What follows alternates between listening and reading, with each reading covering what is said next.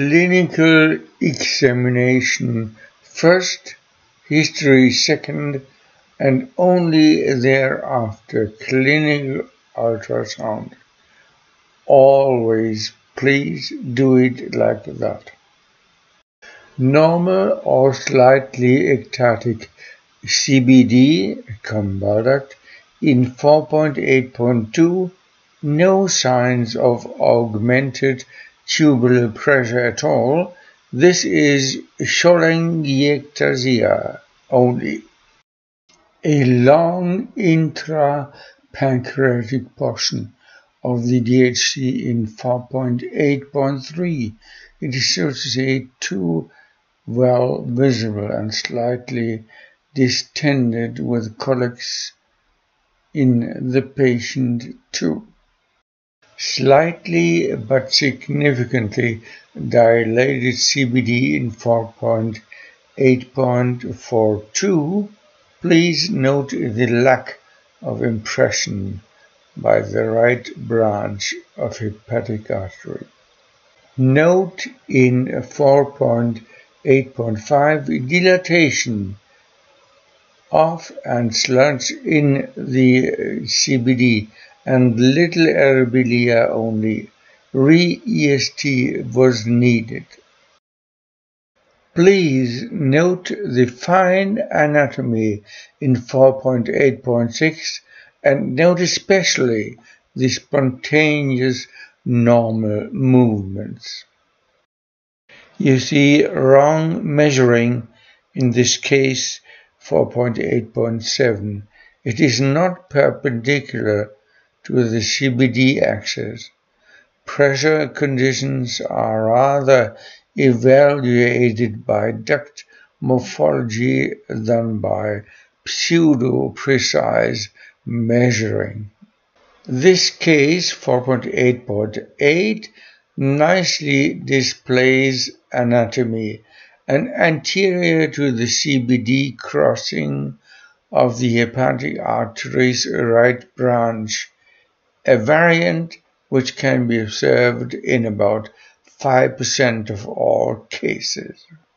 Here in 4.8.9, dilatation due to increased tubular pressure is obvious. Please note as a landmark the right branch of the arteria hepatica and realize that the obstacle must be at the papilla location and indeed a papillary carcinoma was found endoscopically aerobilia and residual congestion and the normal right branch of arteria hepatica intercrossing are noted here in 4.8.10. In 4.8.11, a lack of DHC arterial impression to the vena portae is demonstrated as a reliable sign of enhanced tubular pressure. Just observe carefully, so-called measuring is not really needed.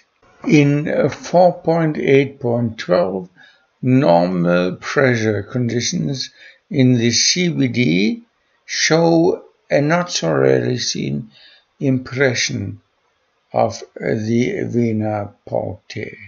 A typical artifact in 4.8.13 results in this portal right branch's aspect. It is hit by the beam rectangularly, thus it is hit strongly and creates the so-called blooming artifact. This picture in 4.8.14 obviously demonstrates again normal ductal pressure conditions, outrooting a biliary outflow obstacle. Note again the 5% variant. Ductal pressure and duct morphology are normal again in 4.8.15. In this harmless variant and intercrossing of the right arteria hepatica branch before the DHC.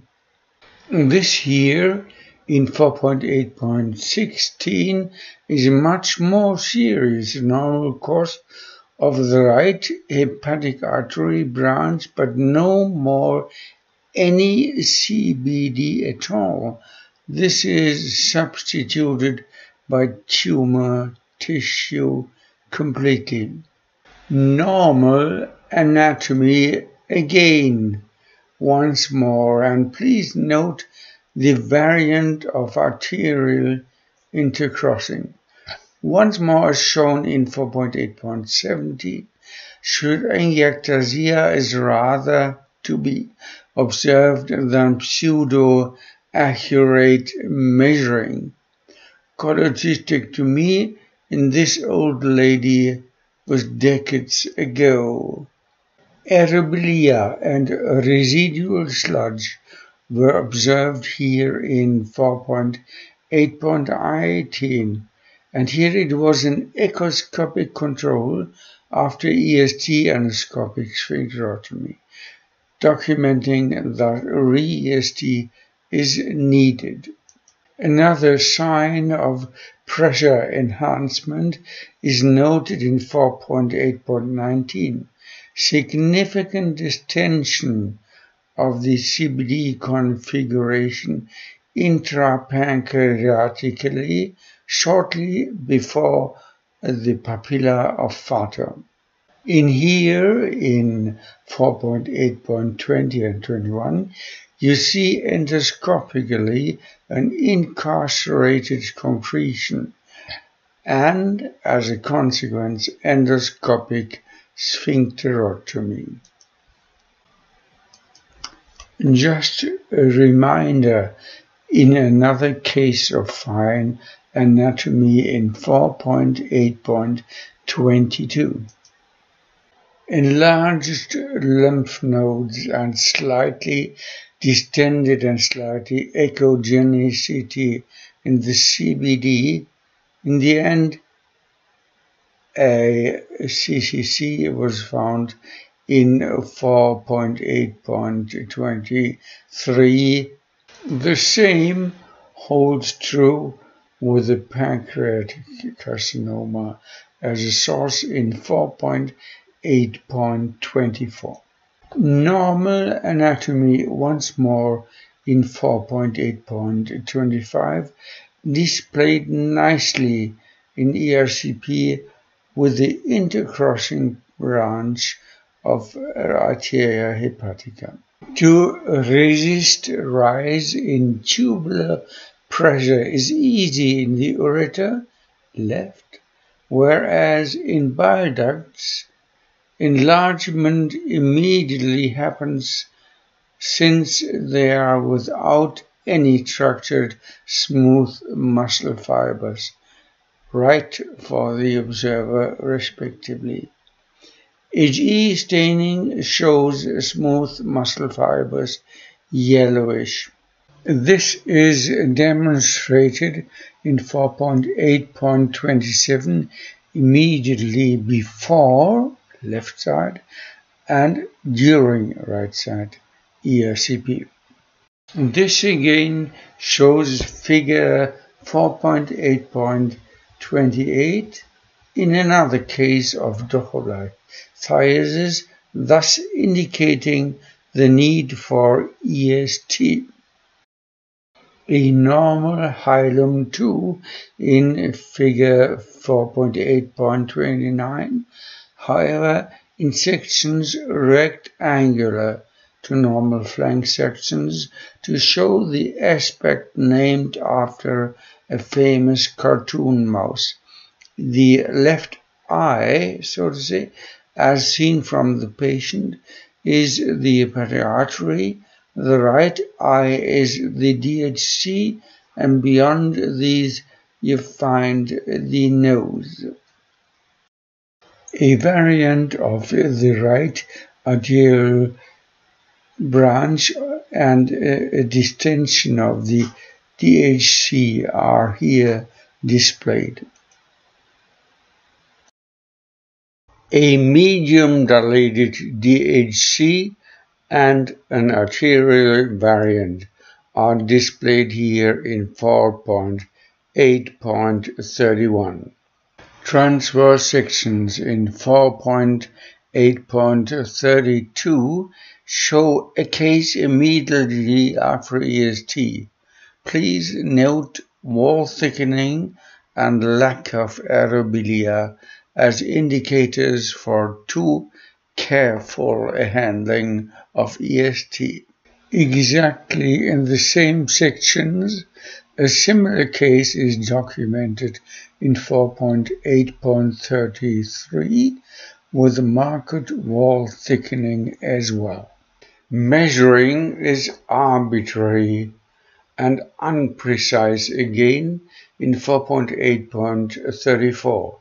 Please note again how helpful anatomical orientation in CF is. In 4.8.35, it is noteworthy first the undercrossings of hepatica branches in a double fashion as a variant, and second, a discrete but clear dilatation of uh, DHC. Note the cystic. In here, in 4.8.36, clear signs of chronic pancreatitis are present in addition to DHC dilatation. Note the lack of pancreas parenchyma and the correspondingly small distance of uh, arteria to vena lienaris confluens. The same holds true in 4.8.37 with reduced pancreas parenchyma and an otherwise fine and normal anatomy in CF. Note the same features in 4.8.38, confluence normal DHC, and normally compressed vena lienaris. Artifact color spots in the slightly dilated DHC in 4.8.39 with enhanced echogenicity and interpreted hemobilia subsequent to Menghini puncture the other day. Gastroduodenal artery and confluence are normal in CF. Slightly echogenic material in the DHC in 4.8.40 due to a known primary sclerosing cholangitis PSC. Again, unprecise and arbitrary measurement of the latest DHC in 4.8.41. DHC dilatation arrow and the hypoechogenic mass in 4.8.42 are seen clearly. In the end, it was a pancreatic malignancy. DHC dilatation to a nearly twofold diameter of DHC compared to the diameter of vena portae and dilated intrapancreatic ducts were found in 4.8.43. These sections in 4.8.44 demonstrate arteria gastroduodenalis, somewhat dilated DHC, and some transversely hit vessels of unclear naming. Sludge and wall thickening after EST are found in 4.8.45 in this DHC. The same holds true in 4.8.46 with the corresponding clinical feature. Note the discrete hilum lymphadenopathy. DHC blocking in 4.8.47 was in the end due to a CCC, a cholangio carcinoma. In these two different cases in 4.8.48a and b, tumor thrombosis in both cases caused these venous occlusions. An HCC affecting the course of the distended DHC is seen in 4.8.49. An asymptomatic stone can be found as a rare exemption in a non-dilated DHC as in 4.8.50. On the other hand, in 4.8.51, a grossly dilated DHC had to be diagnosed once more again. Note the otherwise correct anatomy. And these sections in 4.8.52 present a grossly dilated DHC in addition to a small tumorous mass in the head of the gland and a thrombosis of vena lienalis. Once more again, a well-functioning plastic stent is seen and a residual double shot phenomenon only in figure 4.8.53.